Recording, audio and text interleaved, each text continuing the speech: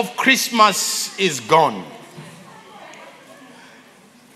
Now that you and I have enjoyed the presents uh, that we had been sharing with one another and the beautiful meals and dinners and lunches that we had over Christmas, the humdrum and all the noises and all the Christmas lights that we enjoyed has come to an end. It's a time and a day where you can say, that's the day. The 31st is a day where you can reflect, begin to review, to reset yourself for what's coming ahead. And you know what? Good news is 2023 is coming in about an hour's time or something like that. The bad news is you and I do not know what is packaged in 2023. Let me start again. Here's the good news 2023 is coming. Here's the sad news. The sad news is we do not know what 23 has packaged for you and I. But I've got good news for you. Good news?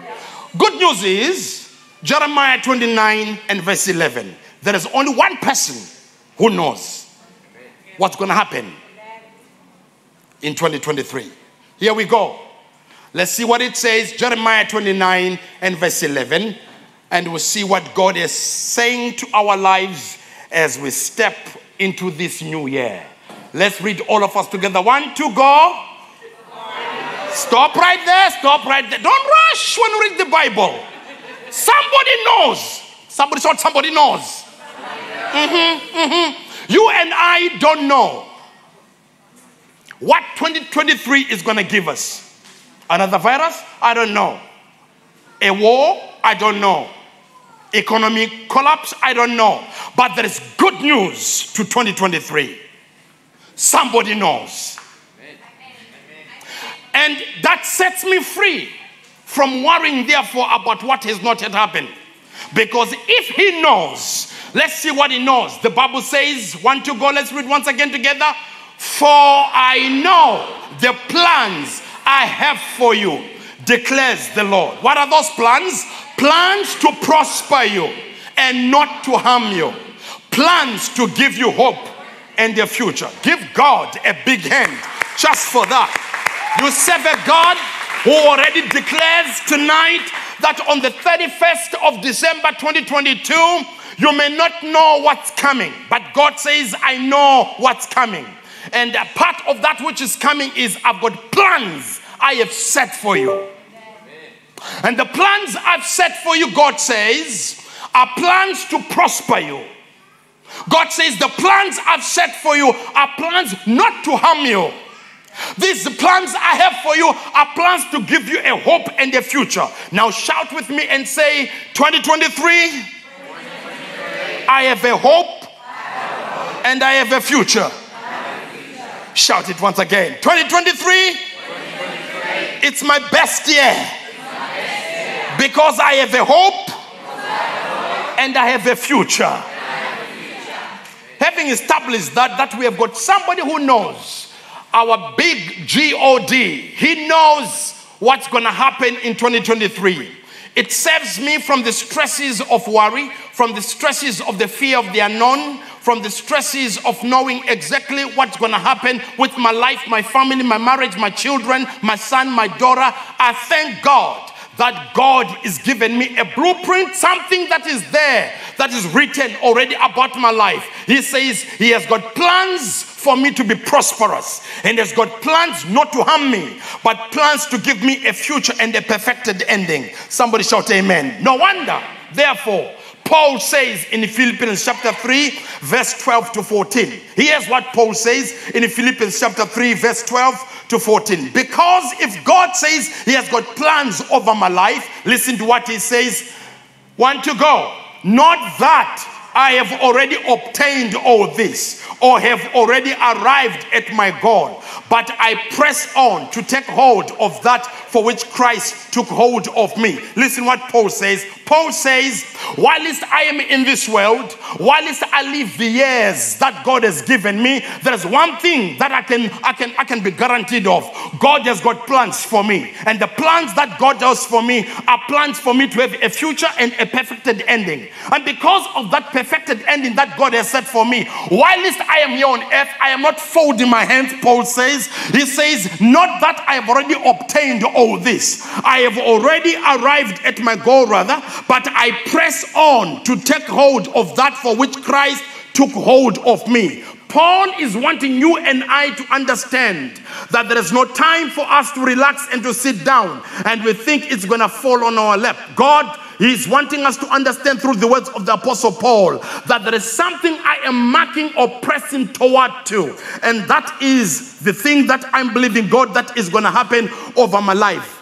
And I believe that God can help us as we begin to see as we answer the question, uh, what Paul is uh, uh, saying to us here. I believe understanding that the anticipation for what's coming tomorrow is known by God. What is therefore supposed to be our response as God's people? I've got three questions that I believe are pivotal and that are important for you before you enter 2023 because you see when we come to the end of the year like this in the on the 31st of December we all wish the best for the year that's coming we all desire to see the best that the year has set for our lives. But i believe if you and i are going to have the best year for 2023 let me see those who are ready for the best year 2023 yeah that's right that's right. How many of you are saying 2022 i'm done with you please go?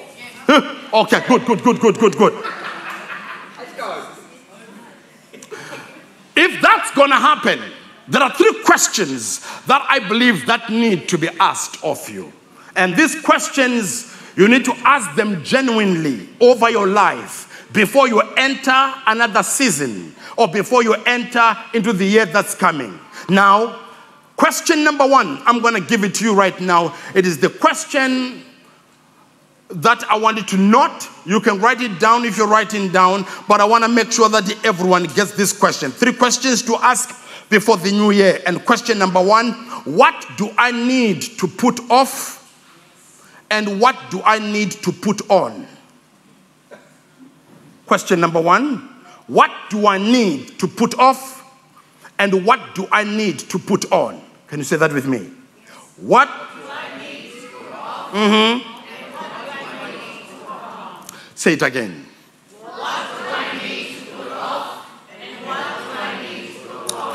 If I'm going to have the best year for 2023, that's a key question. You need to ask yourself. There are many questions when you come to the end of the year that people or that you can find on Google. But I have made it simple for you. I did all the hard work for you. And I believe for me, there are only three. First one, what do I need to put off? And what do I need to put on? That question is a key factor in your life if you're going to enjoy the year that's coming. If you're going to live your life successful and enjoy what God has set for you. What does it mean? These are the words that you'll find throughout the scriptures. That in the scriptures, the Bible talks a lot about putting on a new garment. You'll find it throughout the scriptures. Actually, the foundational text, which is declared under the law of first mention, declares this whatever you see established in the foundation, it runs across as a pattern throughout your life. The very first thing when Adam and Eve were created by God, they were clothed with something. God clothed them with his glory. The glory of God clothed them in such a way that the Bible says there was no shame, there was no fear, there was no insecurity. So when God clothes you, when God covers you, your life is guaranteed a success. Question What do I need to put off and what do I need to put on? Why is that important? Because after they fell in Genesis chapter 3, we know what happened. The first thing they ran to was to prepare fig leaves, and the fig leaves became their covering. But like somebody said, somebody said very well that fig leaf is an acronym that represents they put on fear on them. They put on insecurity on them. They put on guilt on them. That's fig leaf. They put on loneliness on them. They put on emptiness in them. And you know that to be true? Every human being born in this world, black or white, Indian, colored, American, Canadian, Australian, every human being born in this world, male and female, you are born with one thing common there is a vacuum in your life searching Adam and Eve, when they clothed themselves with the fig leaves, they were putting themselves in fear, insecurity, guilt, loneliness, emptiness, anxiety, and frustration. So it's important that if I'm going to see the beauty of the coming year 2023, I need to know what am I clothing myself with. Ephesians chapter 4, verse 22, you'll find out what it says, something very, very important in Ephesians 4 and verse 22. I see that my worker on the PowerPoint is gone. Ephesians 4 and verse 22, you see something there, something there very, very, very important. What Apostle Paul says. Ephesians 4 and verse 22. Let's go in on. Let's see what it says. I want us, all of us, to read together in Jesus' name. Want to go? You were taught with regard Mm-hmm.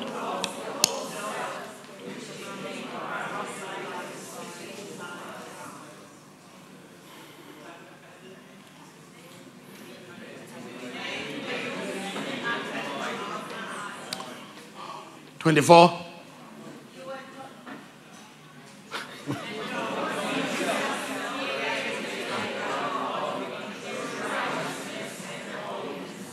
I know you didn't read it with me. Let's read it together right now. From verse 22, all of us to go. Give me the vivaciousness and the gumption of Destiny Point Christian Church and all other ministries that are gathered here tonight. One, two, go. Verse 22. You were taught with regard to your former way of life to put off your old self, which is being corrupted by its deceitful desires. And then to be made new in the attitude of your mind. Okay? And to put on the new self created to be like God in true righteousness and holiness. So 2023 is doable to those people, number one, who are prepared to put off and put on. If you learn the principle of putting off, and putting on will help you as a child of God because it's something we do every day when we are dressed, when we clothe ourselves. I hope so. Some people can stay with one shirt for two weeks. But, but you are designed as you change your clothes every day, the desire of walking with God. I wanted to catch that in your spirit because walking with God is not a once and it's done issue. It is something that happens consistently. I put off, I put on. I put off and I put on. There are things that in my life I begin to understand that Christianity is a putting off and a putting on. The trap that you find yourself in as a child of God, these here are some of the traps that you find yourself in is the trap of perfectionism. The trap of perfectionism, it states that you and I we think once I am perfect in one area, I think I am done.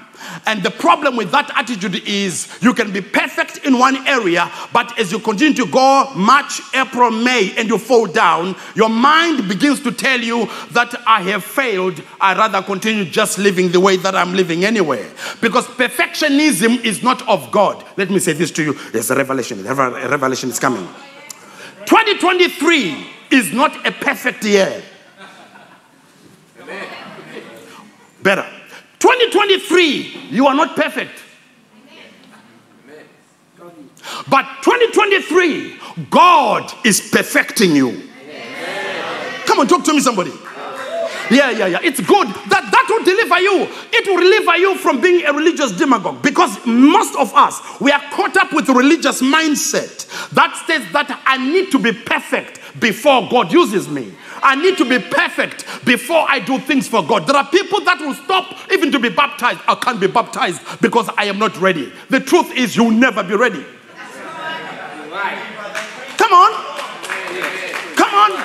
So it's important for you to know that if you're going to be all that which God wants you to be, is the principle of putting off. Somebody shout putting off, putting off. and then putting on. putting on. Now you know, just like we do with our clothing, we put on, but before we put on, we put off.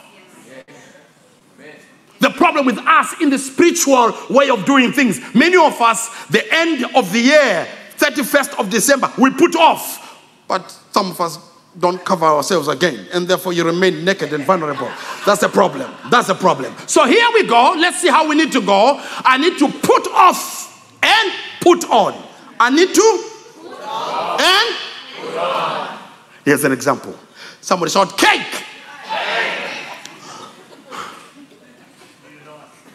That's a beautiful cake there that you see there. You see, I know, I know. Most minds here, probably not everybody, but most minds here in 2023, you've told yourself you're going to be in shape. I know, I know. You've told yourself, I'm going to diet, I'm going to just do the right thing and I'll eat healthy. But here's the problem the problem is you are saying, you are looking at the cake, and that cake represents the old. It represents the what? But here's what you do you are looking at the cake. Uh uh-uh. uh 2023 is my year. Cake. Uh uh-uh. uh. I'm not coming even close to you, cake. 2023 is my year in the name of Jesus Christ.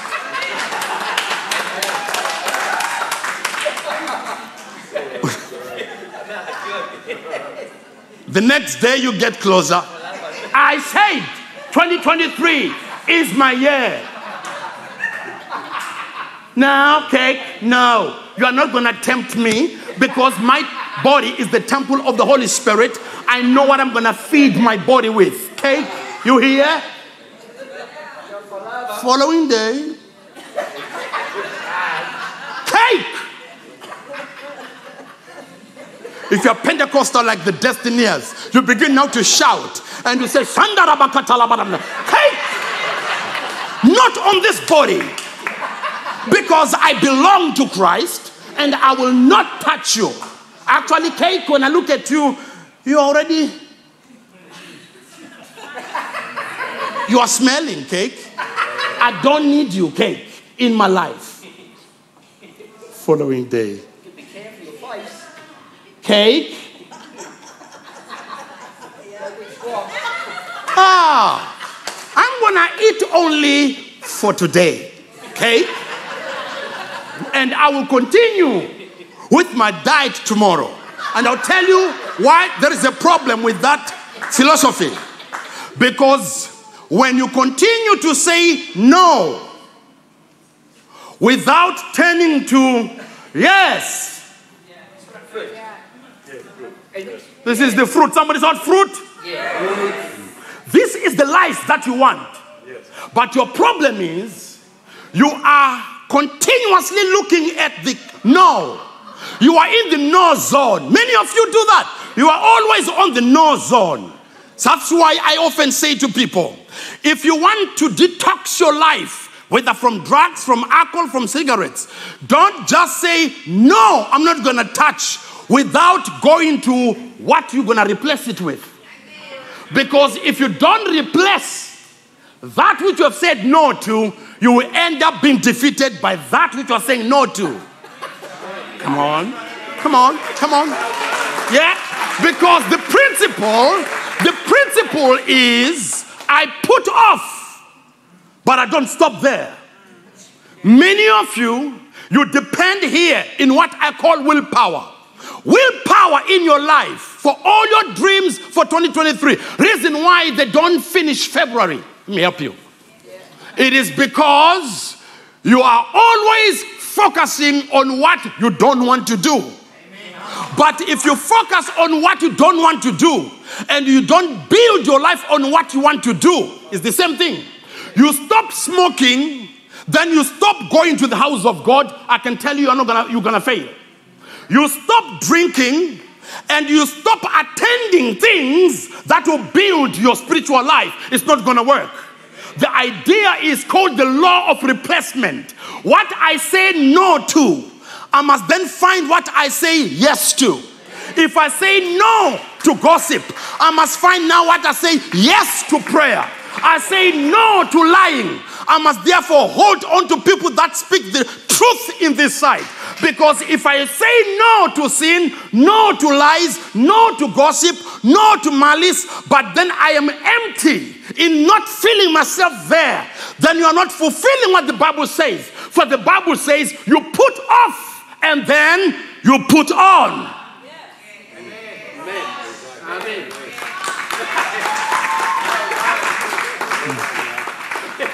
That was just my little illustration. You are allowed today, after I finish, finish that cake.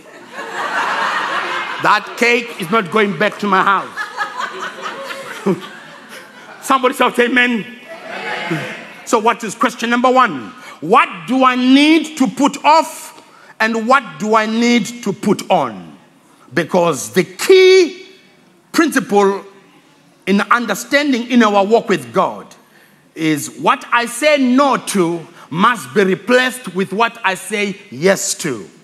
In your life as a child of God, the 2023 year that you are waiting for, for in order for it to be the best year for you, always remember you are a work in progress. Paul says, Not that I have already attained it. Paul said in Philippians 3, verse 12, I haven't reached it yet, but there's one thing that I'm confident of. I keep pressing forward. I refuse to be hung up by my past. So I keep pushing to where I am going so that I can reach my goal to what Christ has called me. I pray for you, therefore, that in these last few minutes, as we enter 2023, may you be able to say, Lord, what are the things I need to replace? What, what is it in my life? I need to look into my life and say, this one old, this one old, this one old. Some of those things are habits, some of them are attitudes, some of them are people. It's important in your life for you to understand that if you continue, it is often says previous patterns are a prediction of your current behavior. If you do not change what you are doing in 2022, I can guarantee you right now, you will end 2023 the same way you ended 2022. Did you hear what I've just said? Because previous patterns are a prediction of your current behavior. The, the dreams you shouted about when we began 2022, we were right here and you were saying 2022 is my year. But the problem is you declared it, you confessed it, you cried about it, you said it, and you positively confessed about it, but you did nothing about it. The strategy of working with God is whenever God has a dream, he strategizes. When he wanted his people to come out of Egypt, they came out of Egypt and there was the Red Sea in front of them. The Red Sea in front of them looked like an obstacle, but God maximizes his power over the obstacle that was in front of them. And the Red Sea parted. Why? Because God, with every problem, there is a strategy.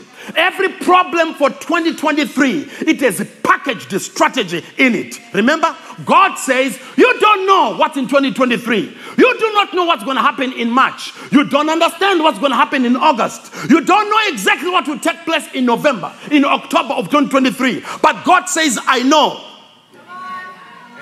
The same God who says he knows is the same God who says, lean on me, trust me. In order for you to trust me, put off old desires, put off the old habits, put off the old lifestyle, and start feeding things that leave you healthy. Feed on things that will make you to go forward with your life. Somebody shout amen.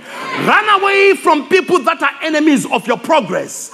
Ask yourself as a child of God where you are that what is the year that I, I have in focus that I want to see myself involved in.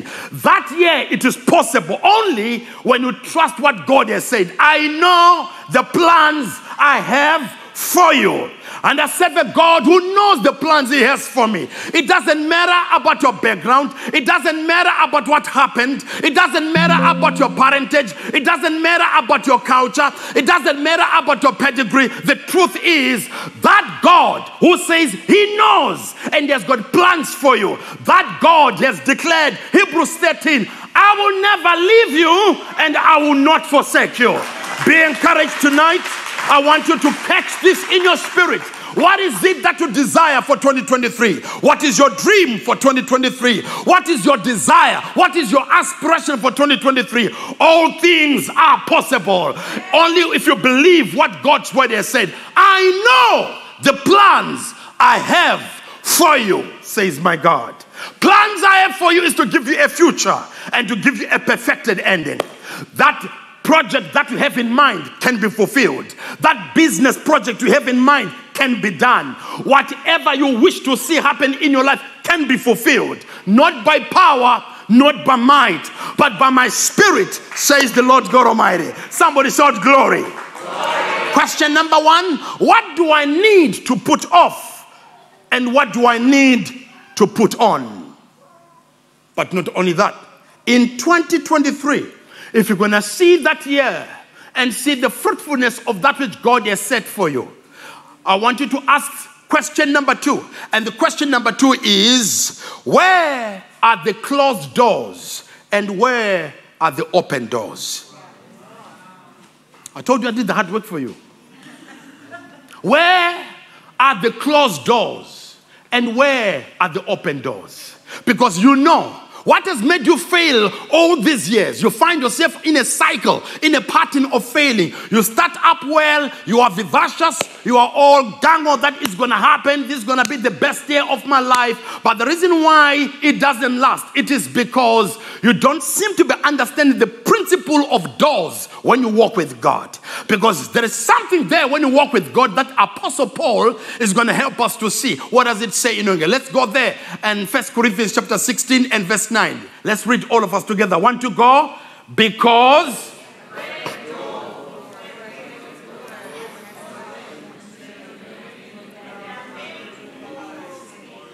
You can tell that some of you are already on your beds, you are asleep.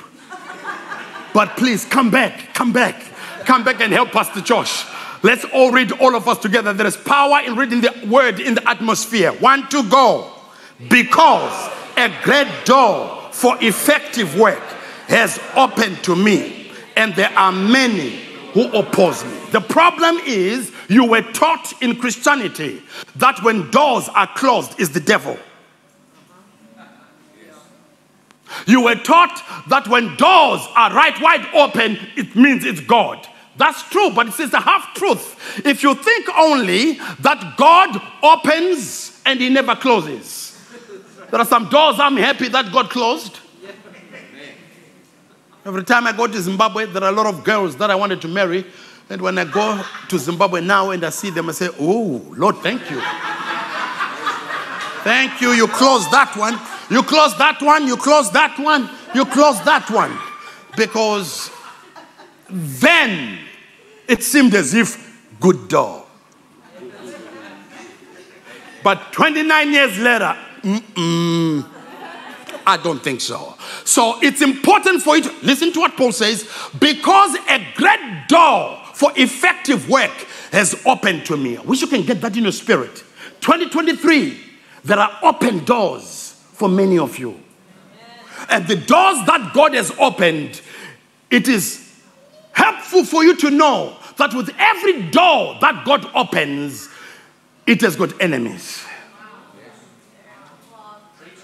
That's the Bible. There are many who are opposing. The fact that there is opposition in my life does not mean God doesn't care. The fact that there is opposition in my life does not mean God is not in it. The fact that, that there is opposition in what I am doing does not mean God favors that one except me. The fact that there is opposition in my life does not necessarily mean there is sin in my life. But we've been taught that way.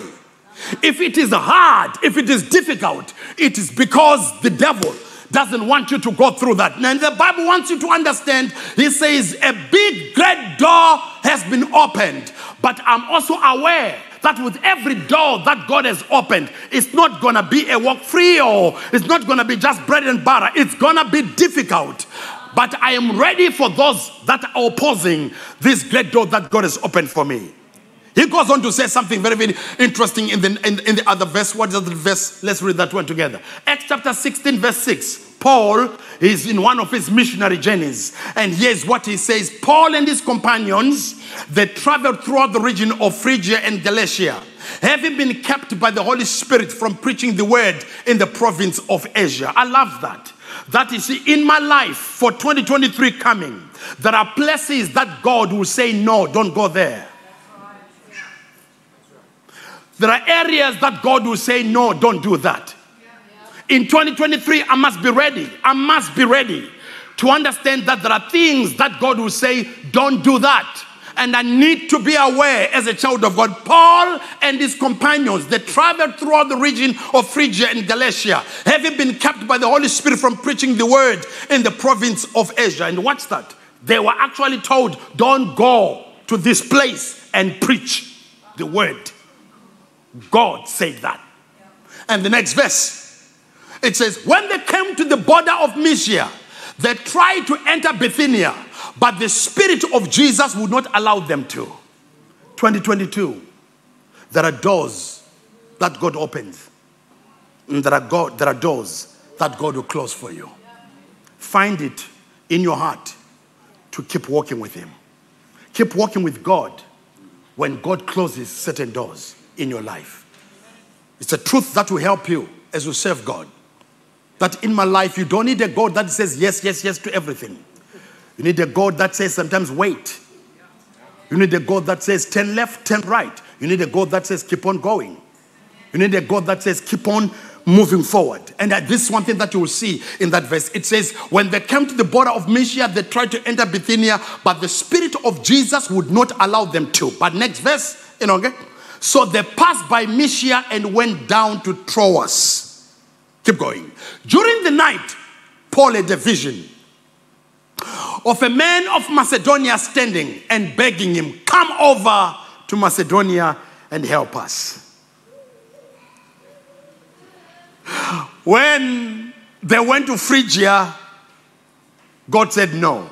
They went to Bithynia, God says no. They went to Mysia, God says no.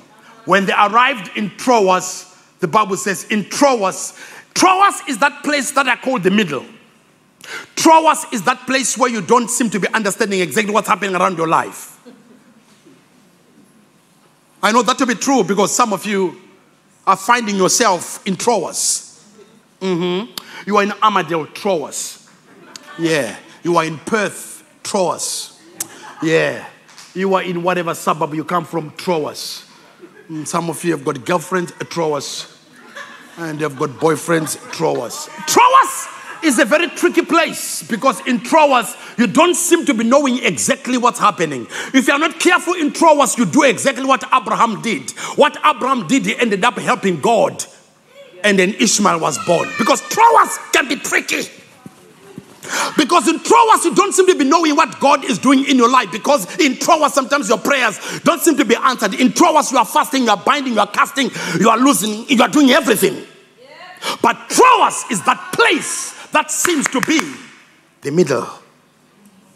You don't know exactly what God wants to do with your life. But if you keep on pressing in, if you keep on pressing in, here's what Paul says there's one thing that I do I keep pressing. You see, in Troas, you keep serving without understanding. In Troas, it's where you pray, even though you can't trace where God is. You keep trusting Him, even though you can't touch Him. Because God is not in the realm of feelings and emotions. You walk and construct by Him by faith. And if you do not walk with God by faith, you're gonna miss it.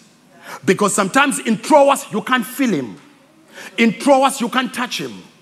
In Troas, it seems as if everything seems to be upside down.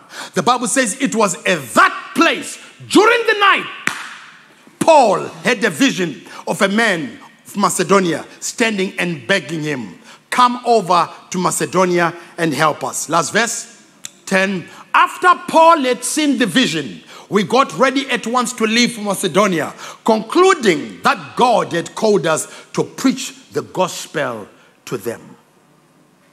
Question number one What do I need to put off? And what do I need to put on for 2023? Question number two that you need to ask yourself as you continue to serve with God where are the closed doors in 2023 of my life, of my marriage, with my son, with my daughter? Things that I would love to see happen and they're not happening. Where does that leave me?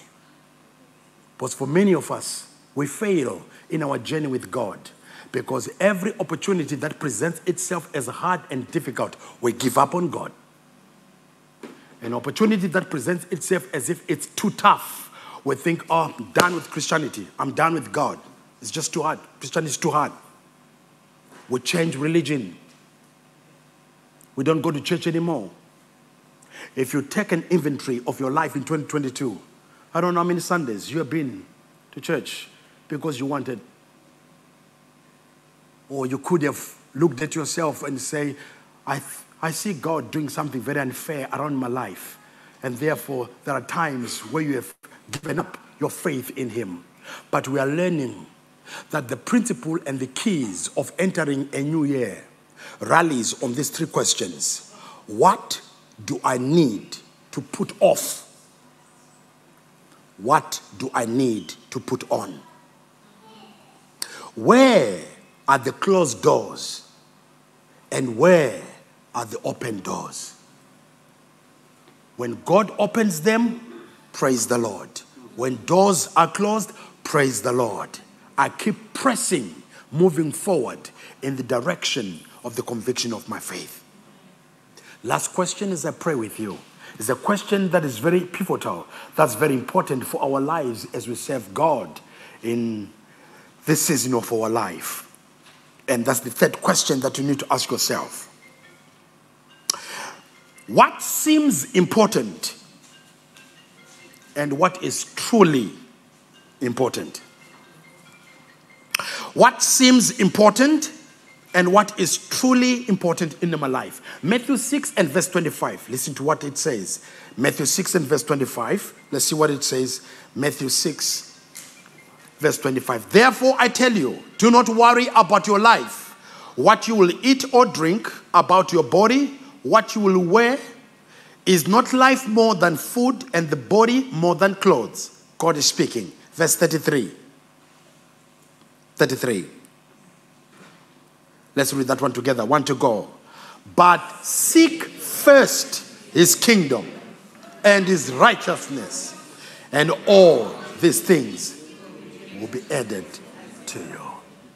Verse 25 God wants you to know don't worry about food and clothing.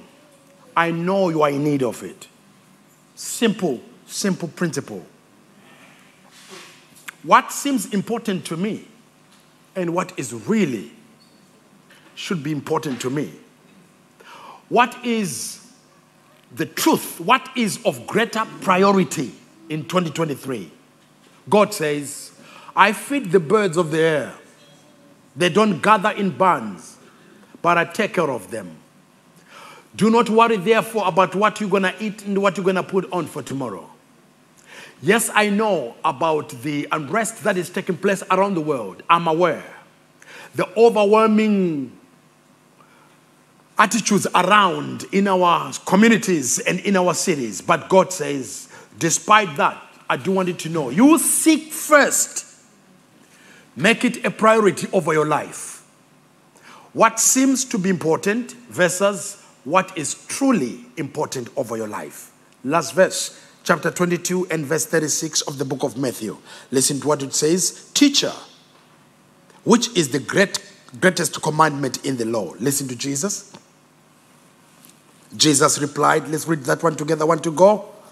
Love the Lord your God with all your heart, with all your soul, and with all your mind. In 2023, three questions. Question number one What do I need to put off? And what do I need to put on? Two, where are the closed doors in the 2023 of my life? Where are the open doors in the 2023 of my life? Regardless of open and closed doors, I'll keep on loving Him and serving Him. What seems important versus what truly is important before God. Love the Lord your God. People who betray you in 2023, love the Lord your God. Some friends who forsake you, love the Lord your God. You might lose a job, love the Lord your God. There are things that will happen that will shock you.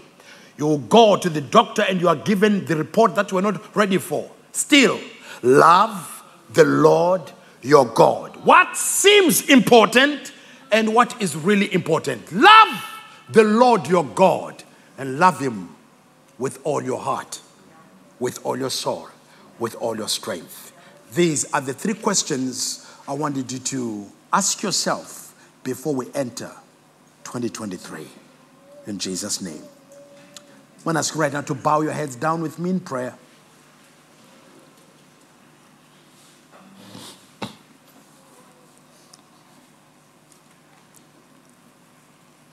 I believe there are people that are here tonight.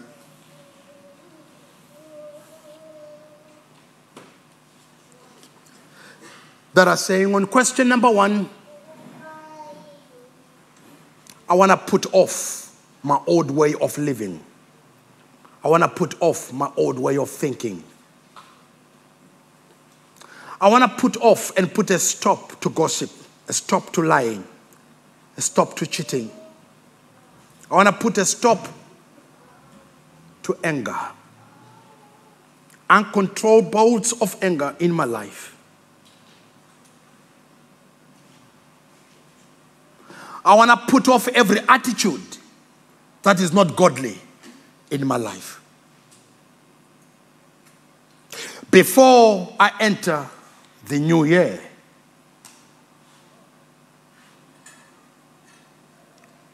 what is it?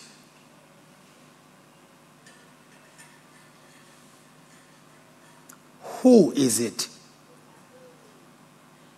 How long has it been? Every backpack of resentment, unforgiveness, you can put it off this year.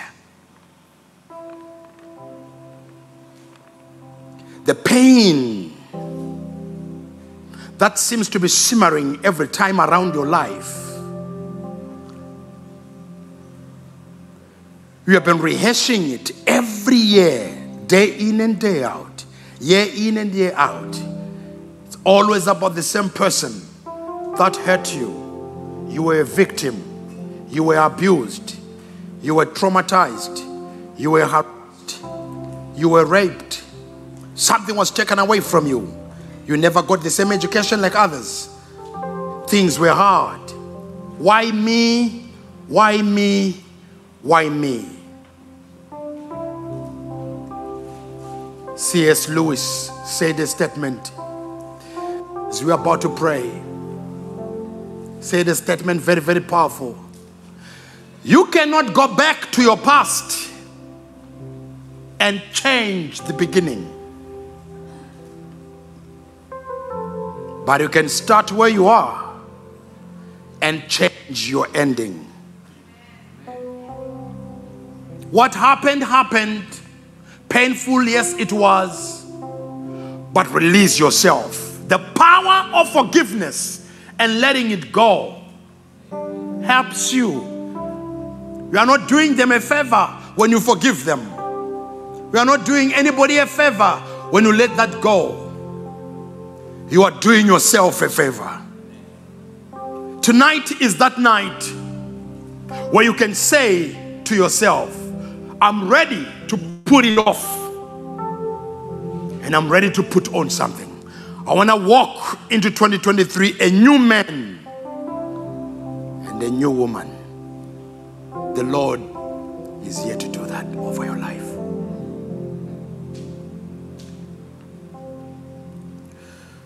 Every closed door that the Lord will present yourself with, and every open door that the Lord will open up for you. Keep your trust in Him. And lastly, just hold on to the principle of those things that are critical, that are a priority. Hold on to God. Don't let Him go. Church may disappoint you, religion may let you down, but love the Lord your God with all your heart, with all your soul, and with all your spirit. I want to pray for people that are saying that.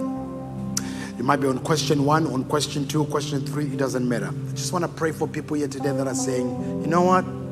I think I'm ready to move on with my life. I'm going to ask the ministry team to come forward and utilize the next 20 minutes to pray for you. We want to pray for you because we believe in you. We want to pray for you because we believe in that which you carry.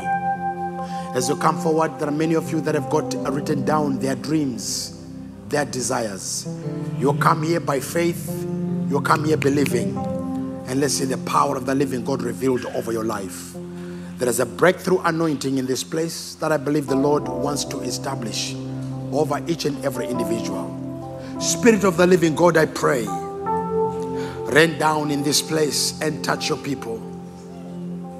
Touch each and every individual that is saying before God tonight, I want to move on with you. There might be people here today, right now, that do not know Jesus Christ as their Lord and their Savior. It's a simple prayer you can just pray to God today and say, Lord, I love you. I'm coming back to you. Some of you are backslidden. Some of you have moved far away from Him. Some of you are confusing God with your church. Church can hurt you, church can betray, church can be hypocritical, but God is faithful. Amen. Take God in your life. That's all I want you to take. I want to invite you to stand on your feet together with me, all of us in the presence of the living God, as we come before Him in prayer.